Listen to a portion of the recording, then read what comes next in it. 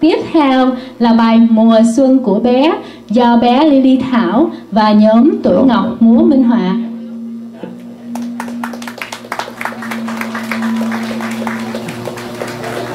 Ca sĩ xong chưa